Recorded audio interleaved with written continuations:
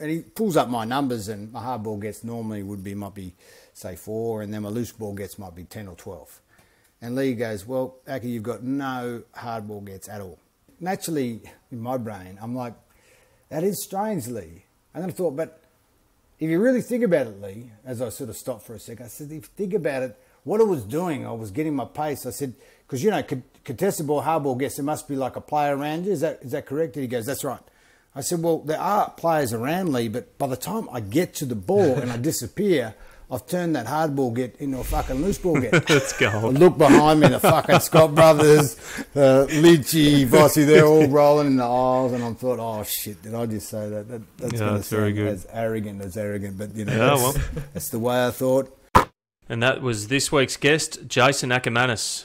Welcome to the One on One Football podcast. My name is Andrew Rains. I'm the CEO and founder of One on One Football, and I've got my co-host here again today, Harry Symington. How you going, Harry? Good, mate. Yeah, really good. We just fi- finished filming the um, and recording. Sorry, the the second episode of the year. We've had obviously one episode um, with just the two of us last week, and, and now we've um, yeah had Aker on. He was a um, a real character, and uh, yeah, a little bit of a, a, different style of interview, which um, I think the the listeners will really enjoy. Yeah, exactly, mate. It was a really good interview, and um, you just finished up a recording, as you just mentioned. what can listeners sort of look forward to in this today's episode? Yeah, so obviously Aker's had a, um, a, a great career, and we um, we talk about the three premierships, the the, the Brownlow medal as well, and um, and sort of in that success era with the Brisbane Lions and um, Leigh Matthews as a coach and Phil Jauncey in their sports psychology. He sort of um, he gave us heaps of heaps of little stories and insights into that into that era, and um, I think um, I think that's valuable not only for, for players but coaches as well, and sort of understanding what builds a um, a successful um, successful team and.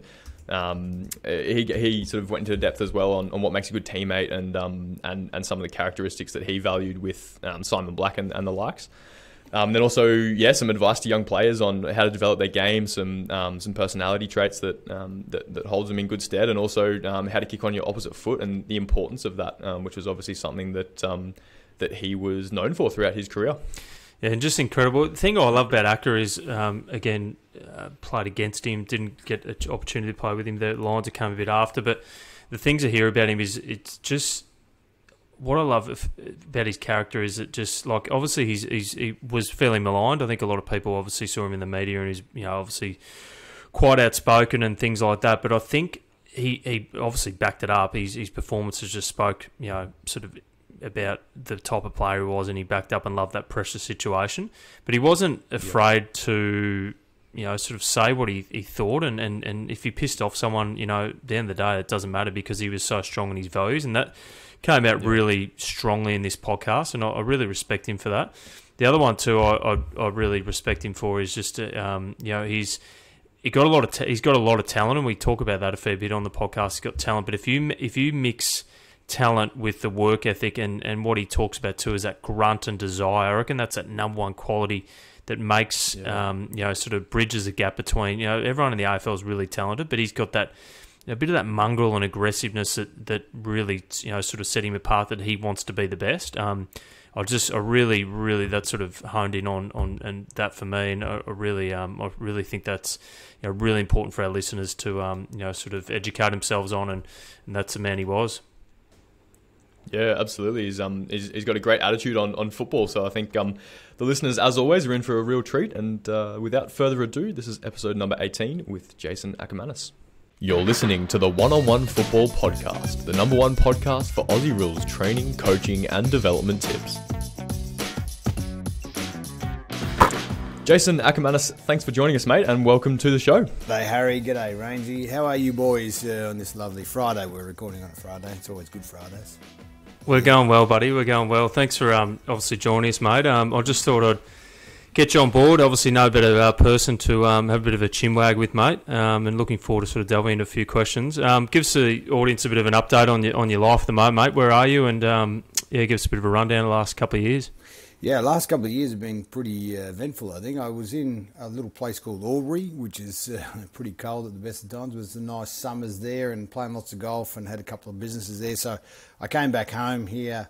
I did my full license and auctioneering license, which means I could work back here in Queensland. And then I work, actually started down the road here, which is like literally 40 metres that way, a place called Ray White Ascot. And then I left them after about four months and went out my own. So I've got my own property business here, Jason Akermanis Properties, which is uh, with Blue Moon, which are up the coast. They're a big group, and uh, so we're in real estate, do lots of auctions and you know selling everyone's house and and uh, and units, whatever we can get our hands on, really, and then of course doing lots of rentals, which has been a crazy big business for us. And so we have also in that period when I was in Albury, we had I did coaching there, got a degree in coaching, and then we had AR, which is augmented reality, so that product you'll see this year, and then another product called Zoocoins, which is going to be the world's first uh, worldwide currency, legal tender uh, cryptocurrency. So, you know, I didn't build it, but you know, I was involved with the guys who did, and, and those guys being startups, you know, you got to get them going. But we had a great software engineer guy called Robert Novak, so he's built that, and that's about to start. So that'll I'm sure that'll allow me to buy a lot more property in the future. Just got into the uh, crypto, mode. It's uh, an exciting space. It's uh, it's good to hear. Yeah, there's 7,000 cryptos though, and I think most of them. I mean, when you've got a product like ours, which is like a couple of decades ahead, it's it's always really hard to tell people, look, it's like it's like when you had Motorola, Nokia, and then the iPhone came. You know, there's always something that's going to supersede it. Obviously, you've still got, you know, a few big players, and, and I think with all cryptos, there'll only be a couple left because in reality, there's only a need for a couple of them even in the world today. So yeah, Zoocoins is uh, it's certain the best bit about Zoocoins. I tell people. So this week, just earlier this week, uh, Facebook were going to come out with a product which which was identical to ours. They were going to build called Diem. Anyway, they've quit on that.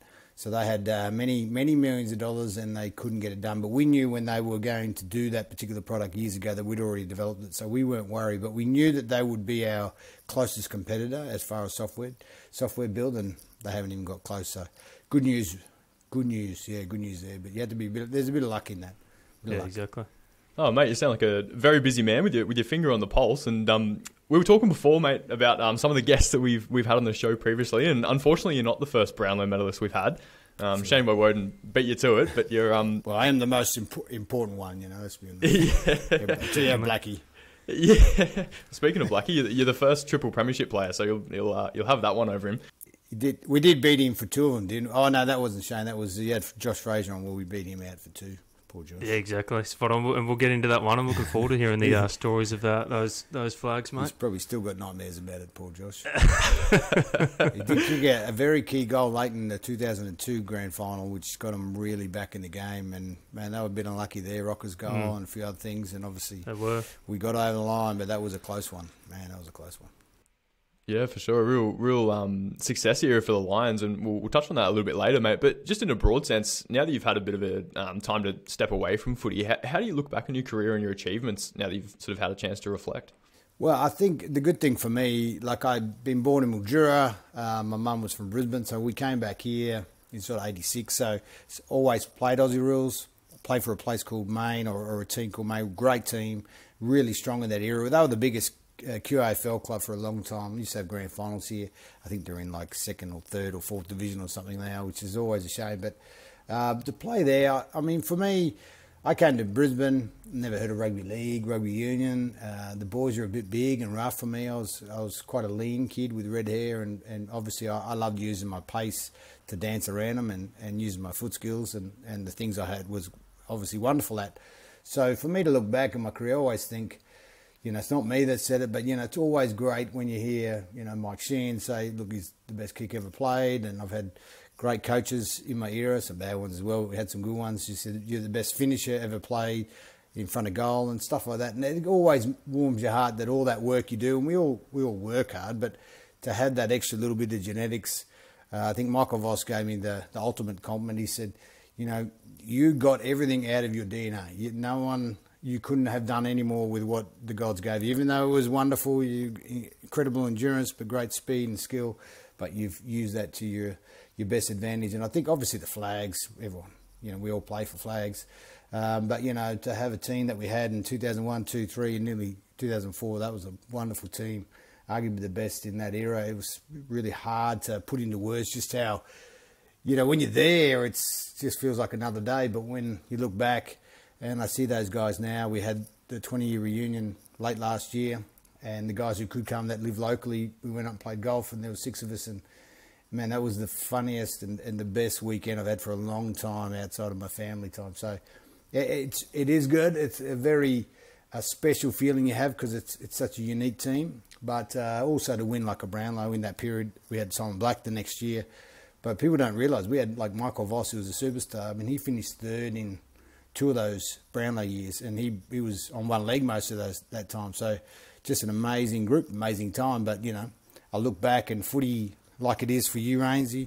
Uh, it's been you know a vehicle if you can use it not just mm. during your footy but after footy. But I mean, talking about the zoo coins, that would never have happened if I didn't leave the Bulldog. Uh, sorry, the, the Lions to go to the Bulldogs and twist the fate that that is, and that's that's what footy can do. And if you're you're listening and learn, you know you're you're keeping out for the network, it's so huge. You should always take advantage of it because it's it's pretty unique. It's massive. My actually wife talks about that a fair bit. She says, "Oh, a lot of um, the old cliches: go to a private school and you meet all the contacts you, you know you'd ever ever imagine." And she said, uh, "Play AFL football and you'll have all the contacts, um, you know, forever." And it's a it's a fair fair comment, which is which is unbelievable. And I do the same thing. You sort look back and the people you meet and the twist of fate and all that sort of stuff. Uh, mate. So it's um yeah good good to sort of know. Back to sort of when you were a kid, just trying to identify when, and a lot of our listeners are sort of that younger age at the moment. Um, did, did you always have sort of the ability, um, you know, sort of coming through the ranks? I mean, obviously you worked your absolute butt off to sort of get to what you achieved, but did you always have, you spoke about your speed and skill and things like that, um, and did you always love the game? Yeah, well, I love kicking goals, and I would do that most of the time. And because I was such a fast runner, like I was really good at athletics, so that was easy. I always enjoyed that those two parts of the game. The endurance side wasn't really my strength. I mean, I was a champion 400 metre runner, running one lap is different to running back and forth all bloody day or, or doing those longer time trials. But like I was playing in states as an 11 year old under 12s. Uh, Clark Keating, who's lives around the corner here, is always coming down, and we, we do lots of business together. Him and I were in that state to playing the premierships together. But you know that goes back, you know, 30, 35 years, you know, or 30 years. So it's a long time. So I, I think the the skill was there, but you know, as a kid, oh, not a lazy kid, but I, you know, you, you certainly learn to work hard. When you, I think that only really happened. I mean, I wasn't a big fan of training at the best of times, and coming through that period, we had some horrible, horrible junior coaches. You know, we had Happy Wallace who trained us at 15, like we are in the AFL. Um, we had, uh, you know, we had uh, a couple of other guys that were in under 14s or 16s that trained us like lunatics. So for me, I got lucky. I missed all of uh, the year when I was 15. I had a bad head injury, nearly died, so I had a blood clot and I couldn't play. You know, a blood clot in your brain is pretty, pretty uh, detrimental. So having that year off, it kind of worked in my favour because it got back my fire in my belly. But I also had a chance to, uh, one, I nearly had it all taken away, but then two, I didn't really burn out. And I know a lot of guys that I play with. There's probably two players that played in Queensland, both redheads actually, who should have gone on to AFL lists, who were just superstars.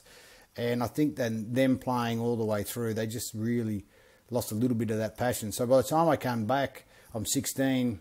I make the state team again. I, you know, I'd made all the state teams all the way through that. So you, you know, you, the number one player from like under 12s in your age group is a guy called Michael Voss, who's like two years older than me, and he's dominating. He's 15 years of age on an AFL list. I mean, this is this is unheard of.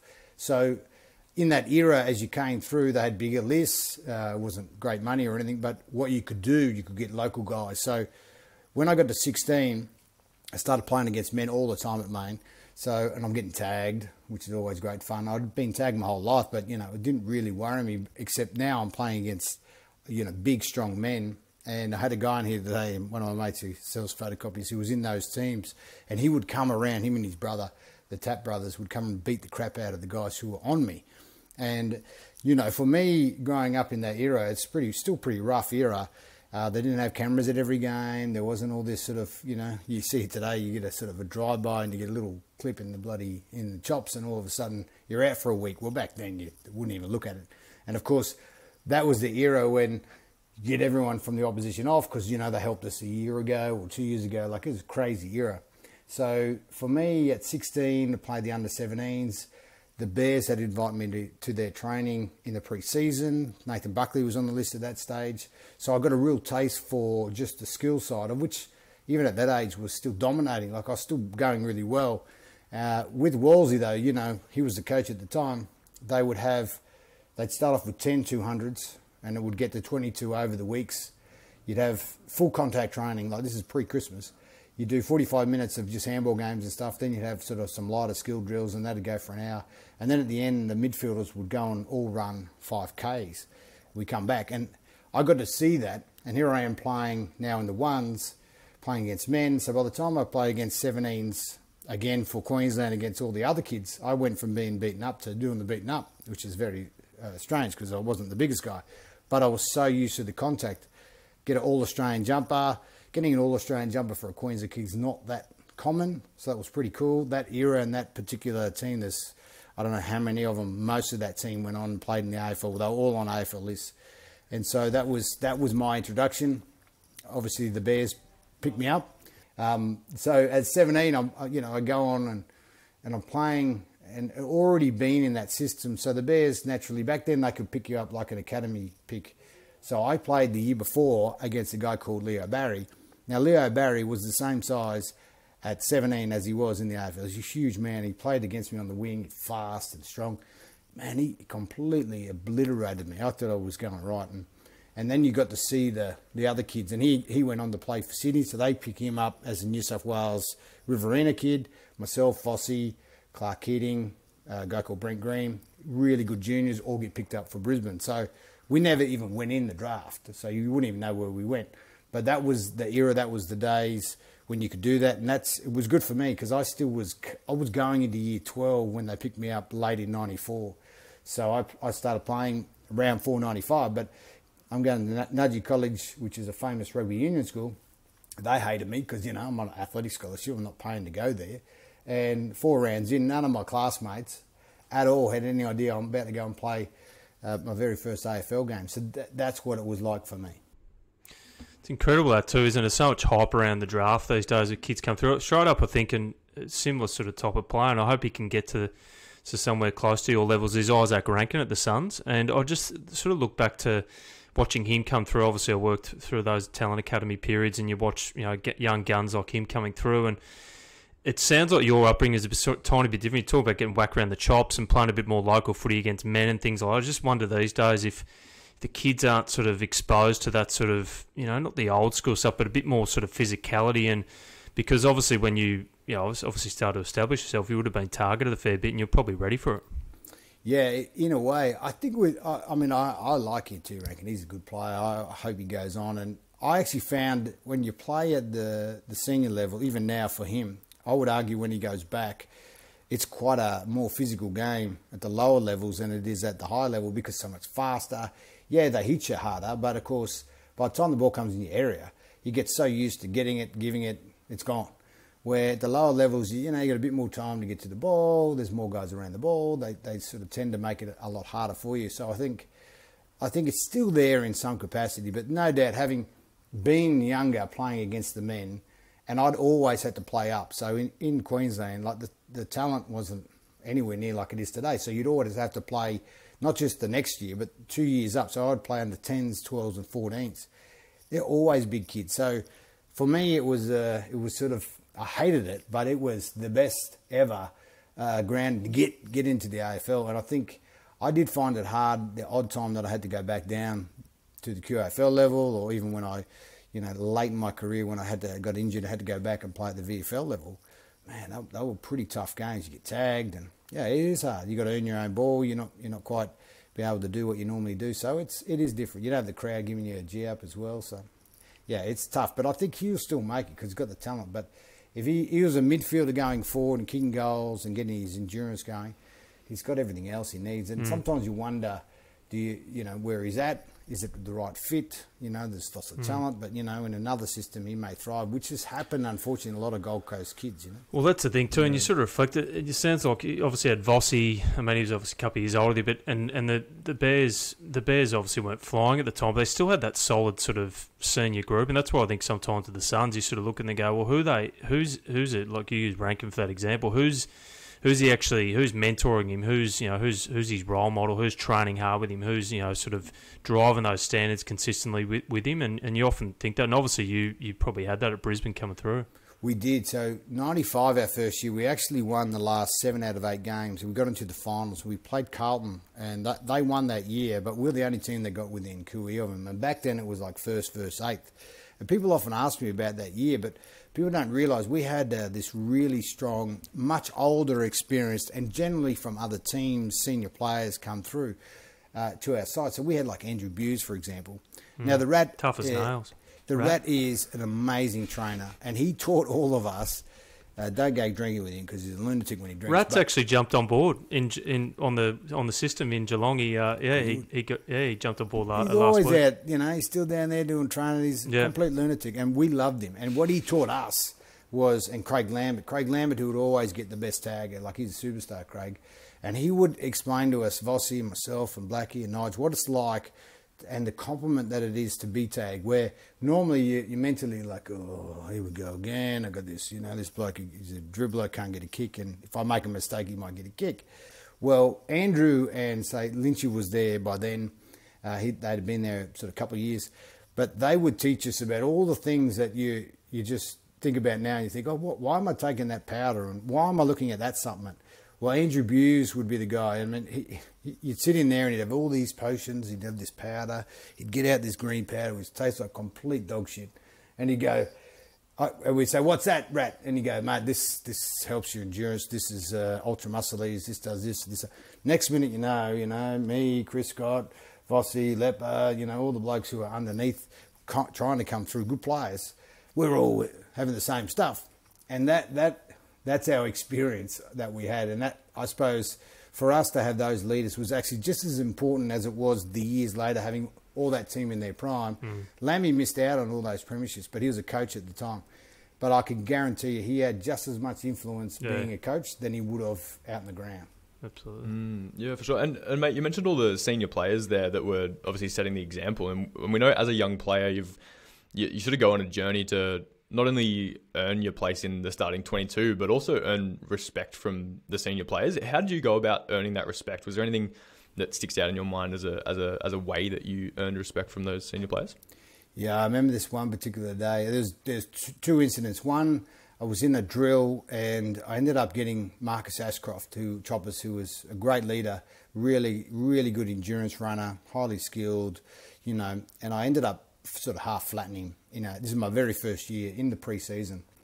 And Choppers looked up and he could see it was me. And of course, you know, Choppers not a very violent guy. He's not a fighter, but he, he made sure that you know I wasn't him being probably 25 at this age, uh, this stage, and, and a very very good AFL player. Well, he isn't going to cop that from a you know rookie. So next minute we're you know we're punching on and and all of a sudden I, with like just like that though Choppers he wouldn't say it, but that was okay. And the older experienced players, you're sort of making not fools of them, but you, you're doing so well in training, they're not liking it. Like I'd walk in, and because I talk all the time, you know, for me, it's what I do. I do, hey, going, what's happening? Players are coming over to me and say, you can't do that. This is the rules. It's, it's like this unwritten law. And of course, I was in there going, well, I don't care. I'm here. I'm here. My right to be here is just the same as yours. So I had senior players already offside. Yet in same in the same breath, they also had to accept me for being the different person that I was in off field. Anyway, Wallsy in my first year, late in the first year, we used to have this uh, this drill, and Wallsy had these couple of crazy drills. One's called the channel, would run from half back. You'd have just two channels of about 20 metres apart, straight down to the goals, three on three, full on. This is like midweek. This is between games. And then he had this other one called the handball square, which most of us have done, where there's four, four, you know, four guys, four cones, three guys in the middle. Anyway, I didn't know this at the time. This is before training, but that particular drill, Wallsy had teed up two of the biggest guys in our team. So uh, one was Dion Scott. Dion Scott's probably 198 centimetres. He's a big man. He's centre, centre half forward, 105, 110 kilos, big guy. And then we had Maxi Kennedy. Now, Matty Kennedy is like, at this stage, he's a mobile wingman, six foot four, 195 centimetres. Big Maxi, mad as mad. Anyway, Wallsy had teed him up before training, right? So we have this handball square drill.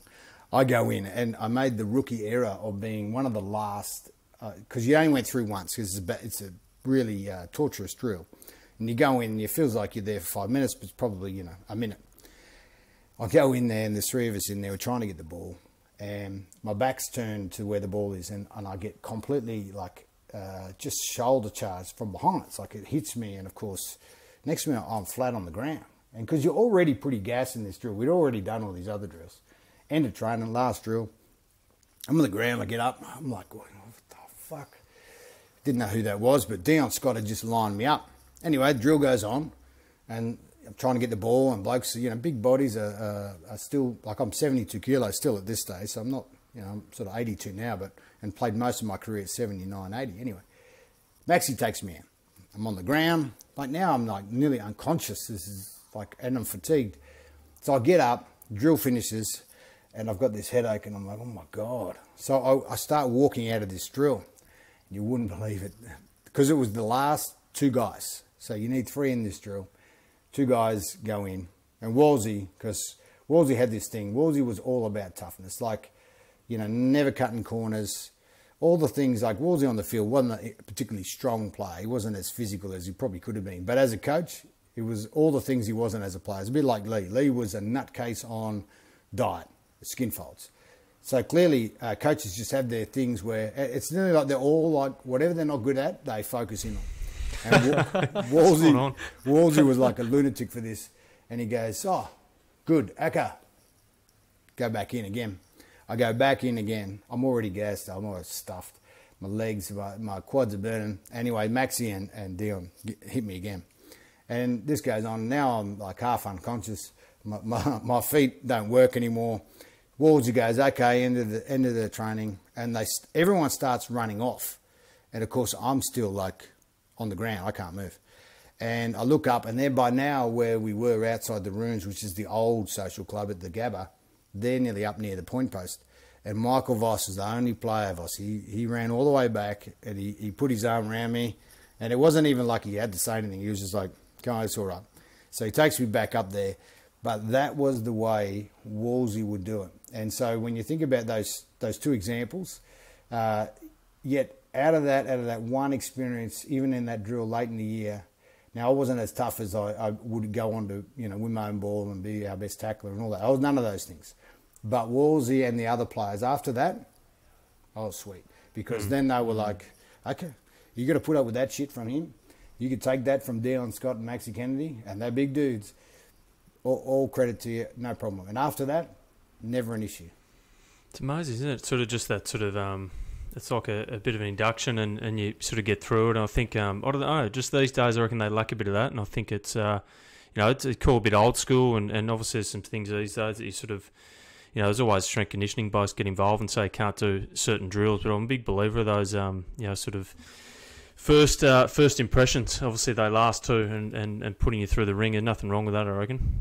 Yeah, yeah. And I remember uh, just to finish that whole sequence – at the end of the year, this is before we went on our big run, Wallsy, as he was, you know, he's the type of guy, remember, that when we'd have edits back in the old days, so when you, you completely either shit yourself or you'd go back with the flight and you, you know, you weren't as tough as he'd like, he would like uh, stop it, rewind it and play it again.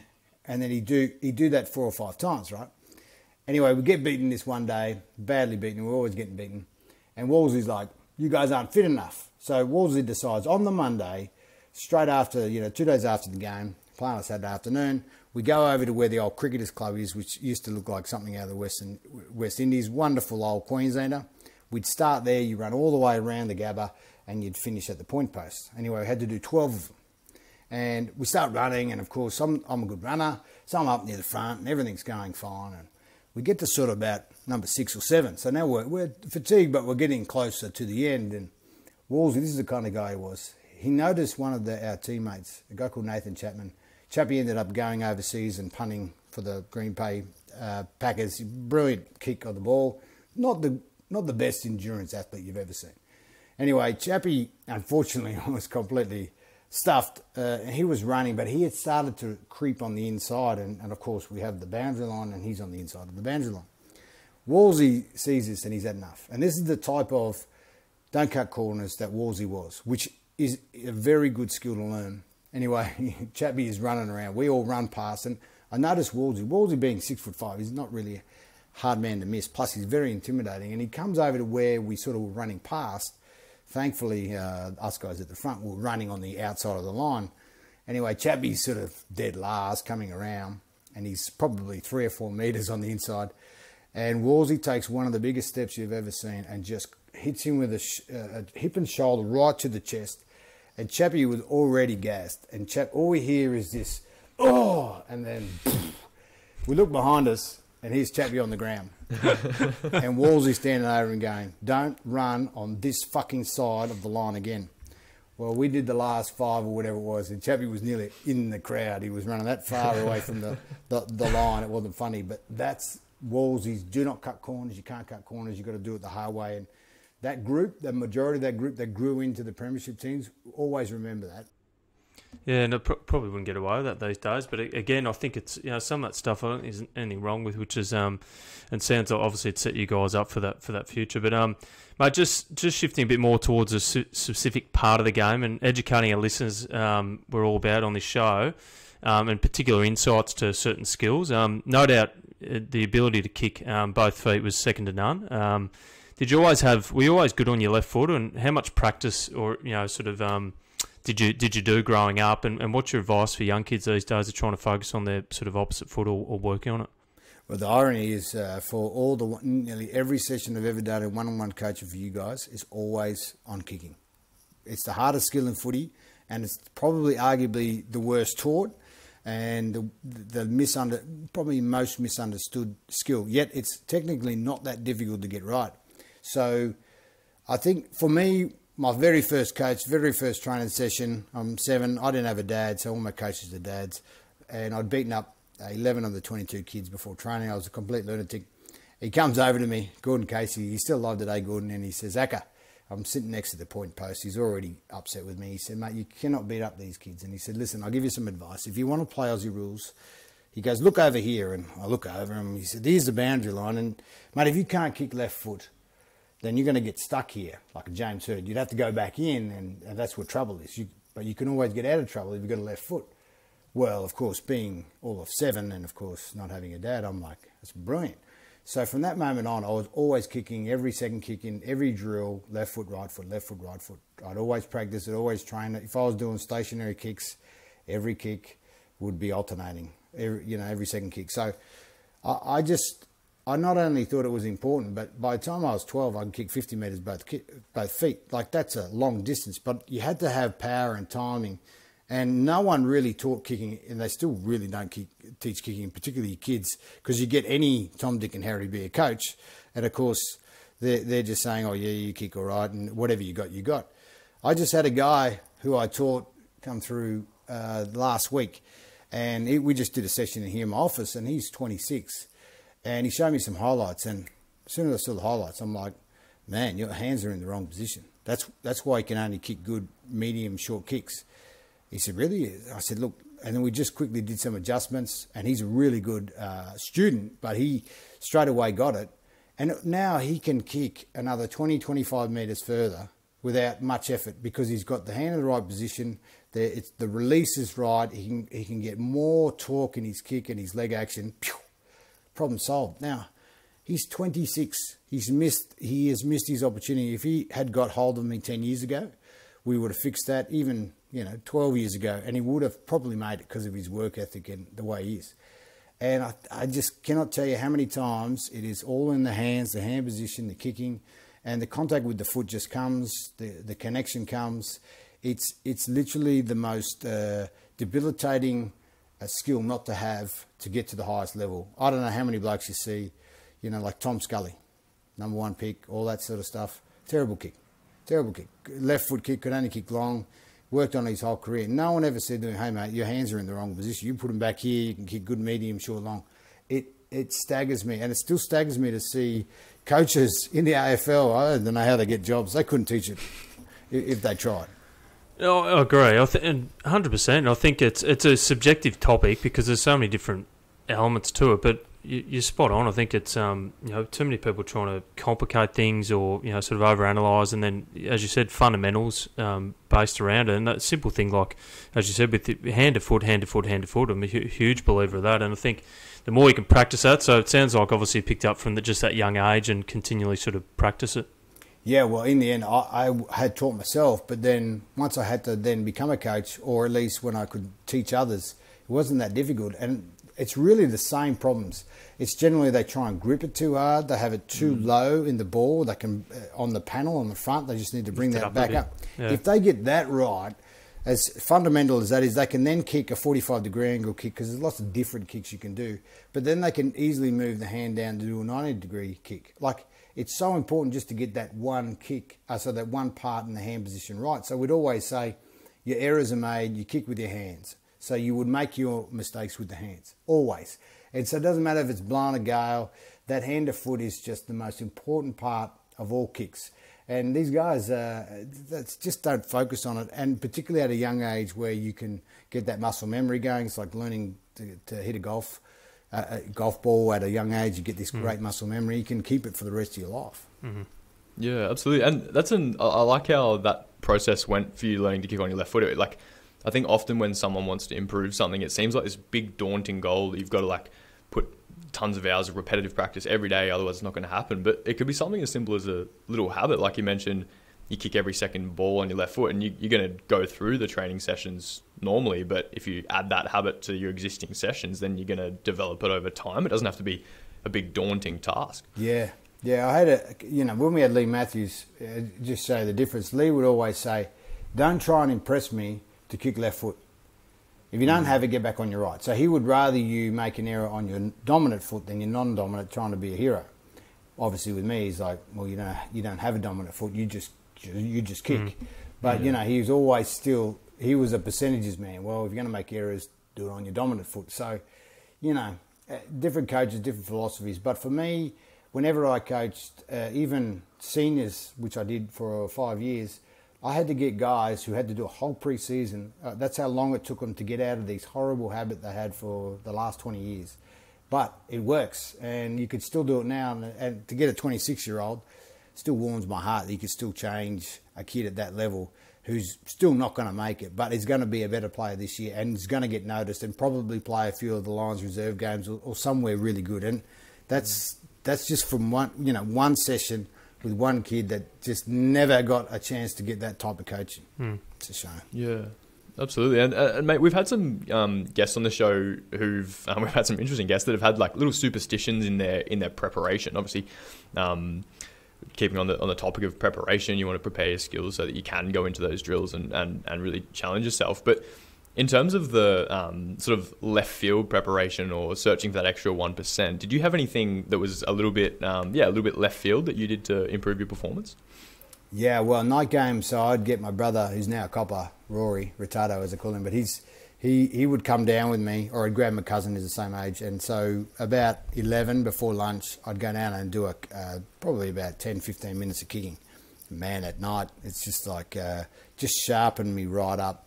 And that, that was not an odd thing to do, but certainly most people are trying to relax and not think about mm, footy. Yeah. So I would eat the same meal and then I would have a snooze and go and play, depending on what time we played. So for me, uh, having a kick before the game, not at the venue, outside mm. of the mm. venue, even before, say, grand final, was very important. I would just walk out. I'd, uh, you know, make sure my short kicks were just spot on and just do a little couple little uh, kicks I was going to need in the game, just make sure everything was loose. But you know, I had the usual stuff, probably like Rainsy and my Lucky Jocks that ended up just fucking disintegrating. so I don't know fucking where they went, just went out the window. Had to find some other ones. Yep, I'd always have my favourite togs. Uh, I'd always get like this certain treatment before the game when I had my physio in. I was very structured before the game. And, and it worked fine for me, same food. Marcus Ashcroft, for example, he used to leave at the exact same minute before a night game because he'd always play at 7.10. he would leave at like you know five thirteen to get there and, and do his Crazy, isn't it? And one day he let his wife drive, and his wife like Choppers is a complete thinker, like in our performance and our uh, psychology. So his wife being a mozzie, of course, she's all over the shop. She leaves late. She doesn't give a crap. She's just there. She's in the moment. Well, she drove one day. That was it. Choppers played bad. Said you're never doing it again. I'm driving every, and he did every game. It's so I never let never let anyone else drive me to the games. I'd be like upset at drivers or whatever, but that's okay. I was in control, and that's that's not just my personality, but that's the things we, we end up sort of tweaking all the way through Mm. our career. And I know where you start to where you finish. I mean, they're like doing crazy Oh, shit. it's like crazy. tapping their, their locker four times. I'm like, man, that ain't going to help you. Don't worry about that. Yeah, exactly. No, it's it's interesting. Some of the teammates, most some of those extraordinary things I've seen in my time. But yeah, you get to a point I think where you go, probably stick to two or three things instead of you know sort of uh, twenty or thirty. But mate, um, we uh, recently watched you. You obviously uh, uh, you were in this documentary, The Dynasty, um, recently with um, obviously talking about the the great dynasty, the the Brisbane Lions. And fortunate enough, being a Queensland boy myself. Um, got to watch that firsthand, and it was some of the best, um, you know, sort of memories for mine going to the Gabba, watching you guys absolutely dominate. Um, there was a lot about Leigh Matthews in that documentary and just what Leigh sort of did. Um, we've got a lot of coaches that listen to this um, podcast too, and obviously, um, you know, incredible coach, and, and some of the you know things on that documentary they sort of um, spoke about Leigh. Um, for coach out there, you know, what did Leigh sort of uh, you know do so well to get you guys to perform? Well, the best thing about Leigh, I always say he's consistent. You could read him; he never was inconsistent. You wouldn't never know where you stood with him. It was always it was pretty straight up. Uh, the only time Leigh was probably a little bit funny with you if you were injured, he wouldn't probably talk to you as much, and he had to get better at that. But I think Leigh's big thing was back in those days, he just kept it like he had five things. And I know listening to other players who were also brilliant in that era, say with a Kevin Sheedy, who would fill the whole board up, where Leigh would just have five things. That was, uh, you know, get your head lower than theirs when you so to win your own ball, tackle them and dump them. You could do that back then, and you know those first two things just set up your whole team, and the rest of it is all about you know knowing your role, playing your role, real simple stuff, and accepting that that is your role for whatever period of the game, whether you're in the midfield or got to go back, do a defensive role, whatever it is, you you must commit to it, and I think you know, the way Leigh was, he certainly said to us, we had no problem with our attacking side. We just got to be the, one of the best defences. And for us, his big thing was always tackling. You know, if we got over 80%, we pretty much never lost games. We did a lot of work, which is not really known that much, not just in wrestling, but in tackling technique. We'd always be working on technique, closing angles, how to sort of cut off players, particularly open field tackles. And even though we're a big, strong, fast, you know, very endurance-based team, we still had this amazing ability to to shut down teams with our our tackling pressure, and that was our big thing. And that's the reason we nearly lost that game in 2002 against Collingwood. Their tackling pressure was actually better than ours. Probably the only time in that four years that it was probably the case. So I always talk about those things with Leigh. If you played well, you're going well, you get a pat on the back from Leigh. That's about it. You're going well, keep it up. And if you weren't going well and you need a bit of a lift, like sometimes he'd he'd call me in, he'd show me a highlight reel of what I've been doing. And you know, if oh, not that bad after all. He goes, you can play, and out you go. He'd come to me before games and say things like, I want to see a handstand today. We all knew what that meant. We're going to win at home. We're going to play well. And they're the little things that sort of, Leigh's not quite renowned for any small talk. He's not really that kind of player. Uh, or sorry, person or coach. Coach. He was very much everything was about footy, and everything was always the conversation could start about anything, boats, politics. It would always come back to footy, and that's that's just Leigh. Leigh was just a fanatic about being. Your whole life was footy, and that was Leigh. That's how he coached. Amazing. Some of the stories, obviously, I was there years later, mate, and, and Brownie and Blackie obviously were still around, and Lukey and sort of these types. I heard a lot of those stories, um, and one particular one, which I'm gonna gonna ask, and I'm gonna get the truth of this one. Uh, there was a team meeting one day, a review, and Leigh was highlighting the lack of contested ball and hard ball gets um, after a loss. He went around the room and each midfielder, and he said highlighted, you know, their their lack or, or low numbers. When he got to you, um, you told him it was because you had low numbers because your your speed and how good you were with your pace. You turned hard balls into loose ball gets, um, and that was the reason your numbers were low. Is that is there any truth to that, mate?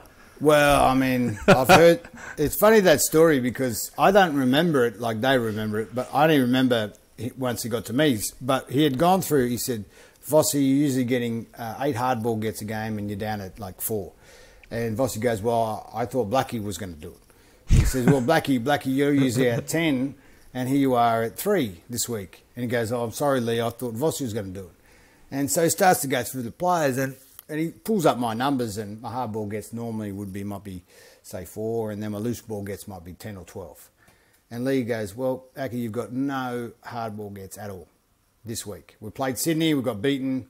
You know, this is how could this be? And naturally, in my brain, I'm like, that is strange, Leigh. And then I thought, but if you really think about it, Leigh, as I sort of stopped for a second, I said, if you think about it, what I was doing, I was getting my pace. I said, because you know, contested ball, hard ball gets there must be like a player around you. Is that is that correct? And he goes, that's right.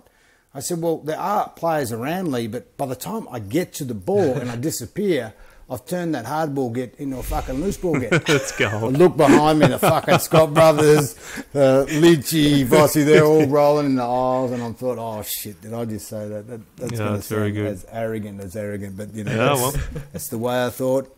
Leigh, to his credit, bad. just moved on. Yeah, yeah, Yeah. Well, fair point, and off he went. Something else. It's Funny times. you don't get you, so many great stories with Leigh because he's just not. He's a humorous guy, but the stories, you know, they're even funny. If you could ever get around us, say this year, we'll have another reunion. There'll be like twenty blokes. Even I love their stories that they have about Leigh and Voss, Mm. but it's the funniest weekend. I tell you, you'd, you'd pay money to be there. That's gold. And obviously that um, that speed and, and, and obviously your skills as well held you in, in good uh, good stead for a um, really successful career. And that that early 2000s period, you had a, um, a Brownlow in 2001, which was arguably your best year, and then the triple um, the, the triple premierships. What what did you do to ensure that you performed on the big stage, particularly that 2003 um, grand final against the Pies, where you kicked um, five goals too? With me and my speed, like uh, I, early in my career, I was getting a lot of hamstring problems, and I didn't recognise at the time. I didn't know what was going on, and this is a frustrating part of the first four years. But as you remember, Rainsy, what I was doing, I was getting stronger and bigger, but of course, there's more load on your legs, so naturally, that's usually you have a soft tissue tissue injury. It wasn't until Victor Popov came and he said, mate, let's do a scan on your back. He goes, you've got a spondylolisthesis, which is a vertebrae moves forward, and that, that causes that goes on to where your, your nerves are, and that causes this irritation, which then makes the hamstrings really twingy and often tear. So he could he could uh, he would go through before games. He would go through the front where your belly button is and push that spine back in, so so it wouldn't move out. And there was a number of players that had that. Well, that nearly fixed uh, my hamstring problems there and then. But then another couple of things happened. I got a hamstring strengthening machine, which which really strengthened my hammies, so they were super strong. And then I worked out, and Victor would say, "Mate, if your glutes are tight, your back gets tight, your hamstrings go." So every week, as as bad as it sounds, I'd always have one of the uh, rubbers at the club or the physio just strip my glutes. Like they would just get rid of any tightness because the glute is the biggest muscle. But for me, it's the most important thing to be flying. So then my back issues went, and my hamstring issues went that first half of nine, uh, 2001, like I carried that midfield. We weren't winning much, and we come good, and the boys took over. The back end wasn't as as good as I would have liked, but you know it's a great period. But 2004, like up until a couple of years ago, that was that was a outstanding year. I was pretty much, um, I was number one in the whole league, set the record for the inside 50s. Uh, I think Dangerfield might have broken that. I think they played an extra two games, but who's counting? And we we had this, and I was so dominant. I think the next best in that whole uh, of the whole competition was actually a team. So, you know, that was an outstanding year, but that was more about me getting more in the midfield. And I like that year 2004 because it's not 2001, two, and three where you're winning flags, you're getting tagged, you're already a good player, and you're playing multiple years of good years, and then you put in another outstanding year. And in 2005, we were starting to drop away, but I still won the best and fairest that year, only the second one I won. So even in 2001, I wasn't quite uh, good enough to get the chocolates yet. I look back, and then the guys, the three guys who beat me, was uh, Simon Black, Brownlow medalist and uh, Hall of Famer, Michael Voss, Brownlow medalist, Hall of Famer, and Nigel Lappin, Hall of Famer. So you know, you get beaten out, you win a Brownlow, and you can't win your own best and fairest, but you get beaten out by three Hall of Famers. It's not too bad. It's not too bad. Pretty amazing, mate. And that and that side just through those premiership years. Was there any sort of um, you know thing you sort of reflect on? Now, obviously, you said you've got your um, sort of your catch ups and things like that. But what was so different to, to those sort of sides and than sort of others that you sort of reflect um, on now? The psychology. Yeah, we just had a pro. We had the best in the business. A guy called Dr. Phil Jauncey. Man, we wouldn't have won anything without him. I'm telling you. Like we had a great coach. So he was the he was the Moz enforcer, that sort of that personality Yeah. type. Yep. Yeah, so you, you actually get there's like four types, main types, but you always get pairs and triangles. So you got a Mozzie enforcer. So you see a lot of Mozzie enforcers and a lot of Mozzie thinkers in football. It's always the way it is. A lot of captains are thinker enforcers. So Vossi, Lynchy. A lot of coaches are thinkers enforcers, like Leigh Matthews and and say uh, even Wayne Bennett, identical pretty much in their profiles, thinker enforcers. So when they coach, they're way more thinker. And so Leigh and Wayne would never talk to us and was told, don't ever talk to the team straight after a loss because you'll be angry and you'll say things that you shouldn't say. You wait five minutes and they calm down and then they get the structure out and this is what we need to do. We need to do this better. And they became brilliant coaches because they didn't lose the group, unlike when Leigh was at Collingwood, which he eventually meant I, I just lost the group. And so that pairs and triangles and understanding, and he had our wives do it as well. So we, I, I still use it every day. I used it in all the businesses I've ever been in, uh, every group I've ever been involved in. I, I can see what's going on and, and see what types they are, and I'll know straight away. So when I coach, I would never have a Nigel Lappin who's a feeler thinker start in the middle of the ground because he's going to take five minutes to warm up to a game. He's always like that. Ten minutes in, and Nigel's starting to hum along. Where your Mozzies and enforcers like Simon Black's just a pure Mozzie, so he's going to buzz around. He just needs to be in the action. Uh, Justin Lepper says the Mozzie enforcer, but those types you want in the middle of the ground because they are so physical and they just love it. They they love being in the action, love causing chaos. They're the guys you put in. You make them change, and then you get the other guys in. So I would structure my team around that. So when people talk about that era, we had like uh, 13, no, sorry, 16 of the 21 players were either enforcer, Moz, uh, sorry, enforcer thinkers or enforcer mozzies. You have no idea what kind of chaos they are because enforcers are notoriously just big picture, don't give a real rat's ass about what you think. Incredibly, uh, they want to argue. They're very physical. They are just, and they're always in your face. You can imagine 16 of them. Like there would not be a training session in the Brisbane Lions in that era that there wasn't a punch on somewhere, and you know someone would be punching Lepper, and then Pikey would be punching Lepper, and then I'd be punching Lepper. Like it, it just, it just would happen every week. Scott Brothers would be over there arguing with someone else or themselves, and then you know, just always, always up for a fight or an argument. So to have Lee understand all the psychology, but then have Phil constantly mm. having the input, just calm the group down. Every time we went into big games, no fanfare. So it's just got to be like a normal home and way round. So you never saw balloons. You never see them at the Broncos. You never see all this we're in a grand final crap. No, business as usual, boys. And mm. that's that set us apart, I believe. And I, th- I always felt, not just physically but mentally, we always had another gear where Port Adelaide, who were a great team in that era, just never had that extra little bit that you're always like, oh, we mm. don't know if they can lift it and, and go again. Incredible, isn't it? We talk again, talk a fair bit about skill and development, all sorts of stuff, and, and f- physical stuff. I just think that mental side of things, just that it's that sort of um, you know the cream on top. I, I obviously you got to have the skill and talent, which you guys did, but that that sort of mental side of things is is massive and huge, and obviously that prolonged success sort of comes with that, mate. Um, and then just sort of moving on to that sort of 05, 06 period when you were finishing up on in the li- at the Lions, and and um, you know, there's a lot of media hype around you know potential Australian relationships and all that sort of stuff. What's your what's your sort of take on that, and, and for our listeners, you know, sort of leaving the club and then heading to the Dogs in in sort of 07?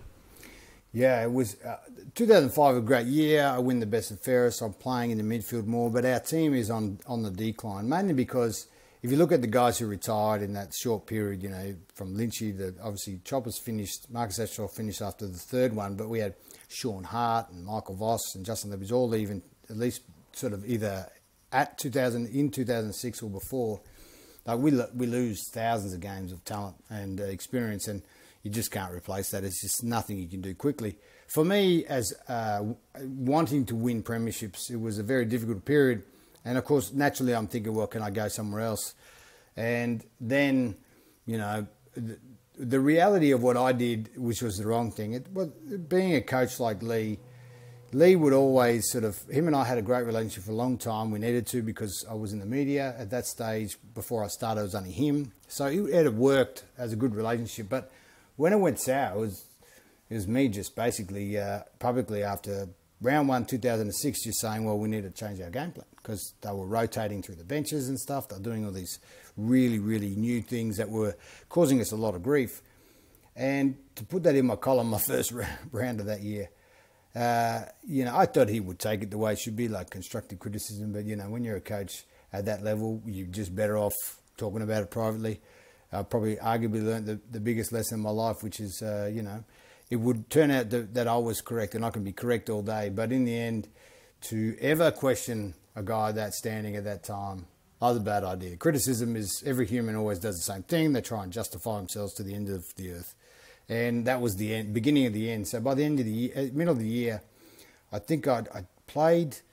I'd, I'd, sort of come back. I had a hamstring tendon issue. The only two times I ever got injured uh, bad enough that I couldn't come back and just dominate.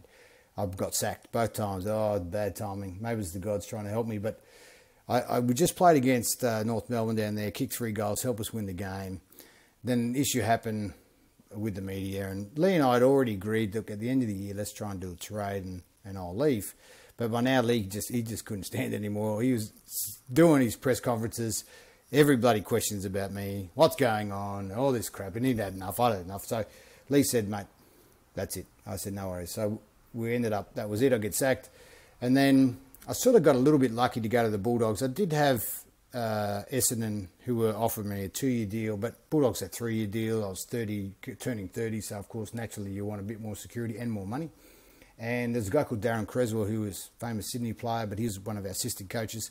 He got on really well with Rocket Eade, and he was probably the reason I, I got over the line at the Bulldogs because of his relationship with Rodney Eade. I did have a chance to probably go to Essendon, but I was worried they're going to sack Kevin Sheedy. They ended up doing that the following year. And I did have a chance to go to Geelong, but we couldn't quite work out the deal, and they went on to win another three flags after mm-hmm. that, and would have been nice to have six, but it, that their cap was not really going to fit what I wanted at that time, and, and I wanted to be in Melbourne, not Geelong. I mean, who would? Shit, no, exactly. going to go to Geelong? Shit. Yeah. and played some reasonable footy there, mate. The Dogs, sort of finishing up their twilight career there, and you know, sort of enjoyed your time and no regrets.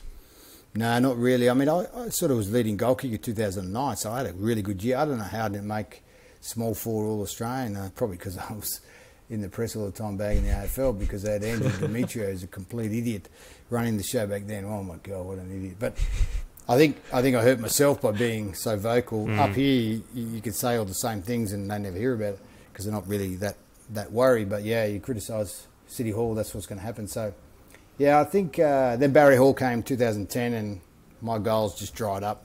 And by the middle of the year, I had a couple of run-ins with a couple of senior players and yeah, they were just sooking it up a bit. And I was not really going to, I didn't want to, uh, I wasn't going to take it. And they had a couple of them, you know, completely cracked the sads over this column I did, this gay column, which was not really a big thing now, but back then it was, you know, big mm. news.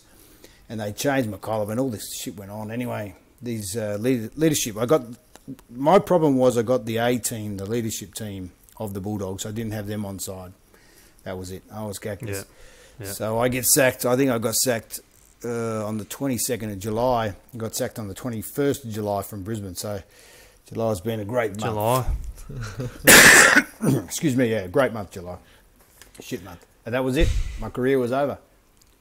Now, Okay, mate. Um, looking to the, the, the coaching now. So obviously on the platform, um, uh, sort of mentoring and coaching young players as they come through their journeys. Um, in a, in a very broad sense, what's some advice that you might have for young players um, coming through the ranks and, and, and wanting to get drafted one day?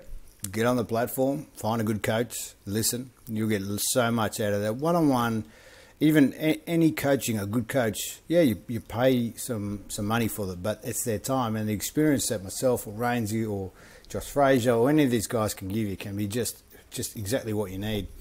I don't need to give you all the things I'd be telling you now. I would tell you privately, but mm.